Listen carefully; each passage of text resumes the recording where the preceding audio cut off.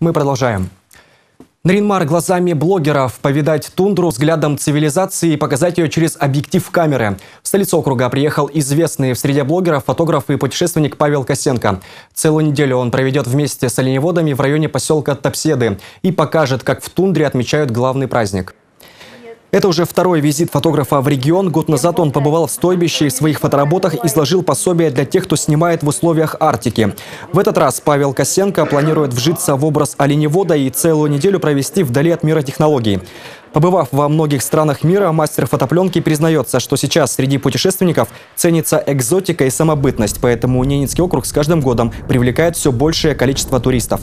Мне очень близка такая настоящая жизнь, вот без э, без какой-то городской вот э, холодности, отчужденности людей друг от друга.